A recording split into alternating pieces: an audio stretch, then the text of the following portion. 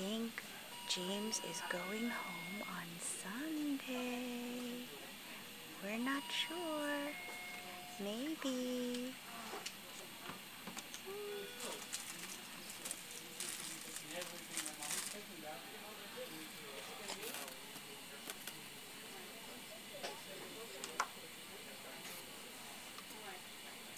Um,